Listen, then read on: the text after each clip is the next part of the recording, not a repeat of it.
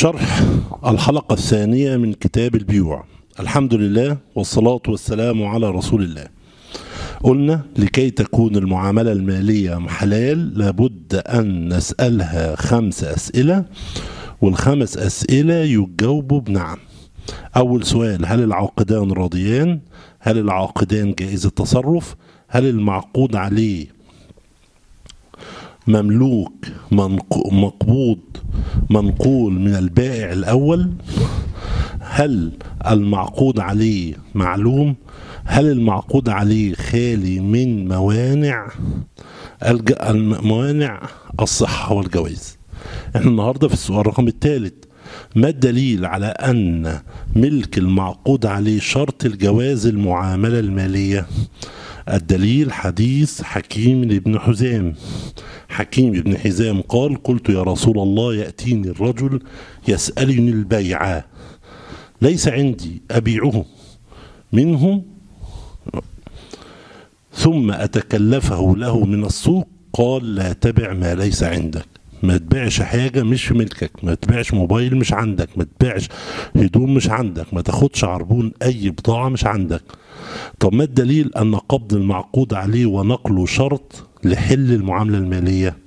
الد- الدليل الأول حديث أبي هريرة نهى رسول الله أن يشترى الطعام حتى ثم يباع حتى يستوفى. لازم تستوفيه يعني تقبضه وتنقله. وحديث ابن عمر قال النبي صلى الله عليه وسلم من ابتاع طعاما فلم فلا يبيعه حتى يقبضه. من ابتاع طعاما فلا يبيعه حتى يقبضه. ونهى النبي أن تباع السلع حيث تبتاع حتى يحوزها التجار إلى رحالهم ورغم الأوامر دي كلها إلا إن كان في تجار بيخالفوا. فكان الصحابة يعذرونهم بالضرب. عن سالم عن ابن عمر قال رأيت الناس يضربون على عهد رسول الله صلى الله عليه وسلم إذا اشتروا الطعام جزافا أن يبيعوه حتى يبلغه إلى رحله. الدليل الخامس النهي عن بيع السقاق السقاق دي وصلة شاري بيها حاجة ومعايا الوصل بس لسه ما استلمتهاش. طب إيه الدليل عن النهي عن بيع السقاق عن أبي هريرة؟ قال لمروان أحللت بيع الربا. قال مروان ما فعلت؟ قال أبو هريرة أحللت بيع السقاق.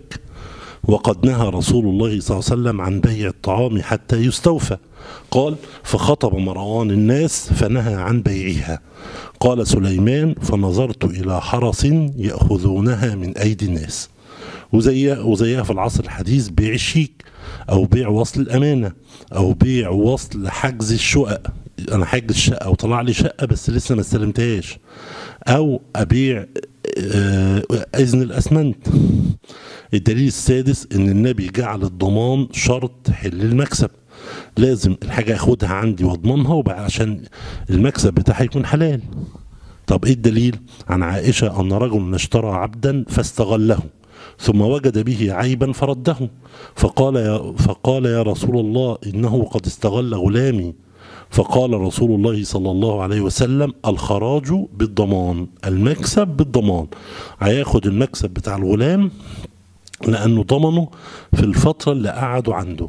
لو الغلام ده مات عنده كان هو هيضمنه خلاص هيتحمل ثمنه الدليل السابع قال النبي لا يحل سلف وبيع ولا شرطان في بيع ولا ربح ما لم يضمن ولا بيع ما ليس ولا بيع ما ليس عندك.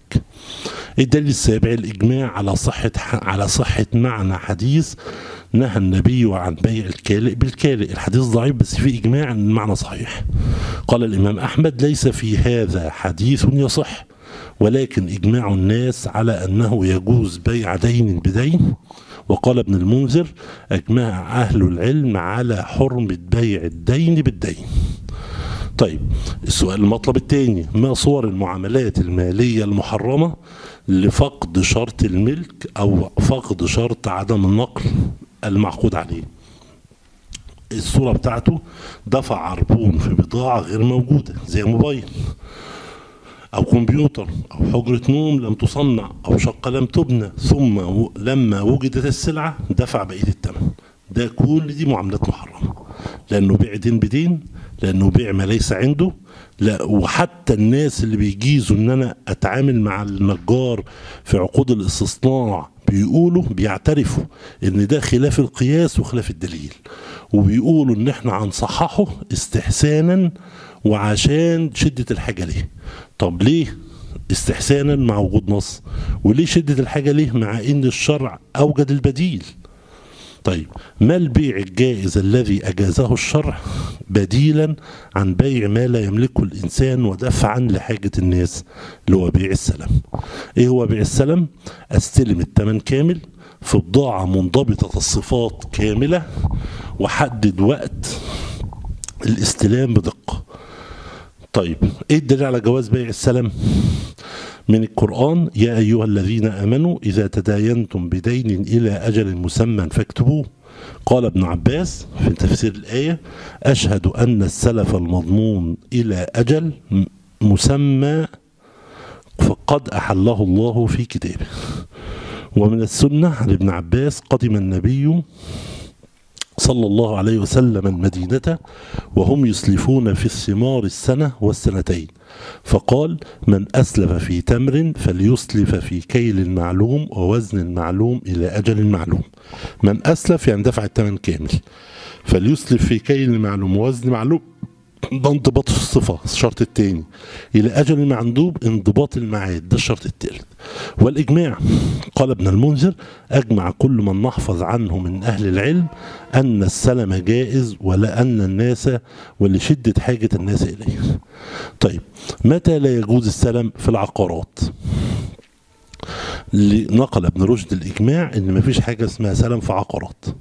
طيب ماذا يفعل من أراد شراء موبايل غير موجود في المحل؟ يعمل إيه؟ قدامه احتمالين يا يدفع الثمن كامل ويوصف وصف دقيق ويحدد ميعاد التسليم يبقى كده اشترى الموبايل ده سلم والراجل يجيبه براحته وفي الميعاد يروح يستلمه.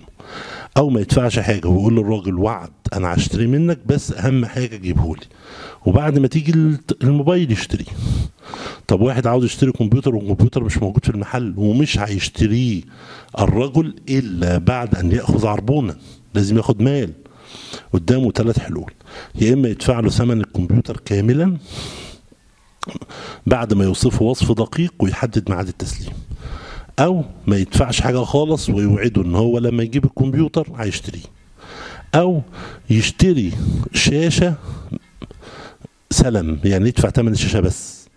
ويسيبه يجيب بقية الكمبيوتر ولما الكمبيوتر يكمل ياخده يشتري الباقي. ولو حصل خلاف يبقى هو ليه؟ الشاشة بس. طب واحد عاوز يشتري غرفة نوم من عند الراجل النجار يصنعها ومش موجود أوضة النوم ما فيش خشب. نقول له يا إما تدفع له ثمن أوضة النوم كامل وتوصفه وصف دقيق وتحدد موعد التسليم أو تقول له صنعها وبعد ما تيجي أوضة النوم عديها لك على بعضها أو تديله ثمن الدولاب بس أو ثمن السرير بس أو ثمن 20 لوح خشب بس سلم. ووقت ما تستلم أوضة النوم تقول له والله إحنا آه اتفقنا اتفضل الباقي. ما اتفقناش هتاخد ثمن الدولاب بس اللي أنت دافعه سلام طب واحد عاوز يشتري شقة والشقة لسه ما اتبنتش أصلا. نقول حرام دي بقى ما فيهاش سلام ولا في أي حاجة. لازم تكون الأوضة موجودة ملهاش حل. نقل ابن رشد الإجماع إن ما فيش سلام في العقارات. خلاص؟ طيب ماذا يفعل من أراد شراء ورق سيارة معاقين؟ نقول المعاق حرام يبيع ورق السيارة بتاعته. ليه؟ لأنه لسه ما جابهوش ممكن يخشوا هما الاثنين شركة مع بعض والشركة دي يترتب عليها بعد كده إن تبقى السيارة بتاعتهم الاثنين ده بالورق وده وده بالتخليص. ولكن مش هيبيع حاجة مش هيبيع حاجة. كده خلصنا الشر السؤال الثالث فاضلنا السؤال الرابع والخامس. إيه السؤال الرابع؟ السؤال الرابع هل المعقود عليه معلوم؟ هنقولها في الجزء الثاني إن شاء الله من الحلقة دي. جزاكم الله خير. جزاكم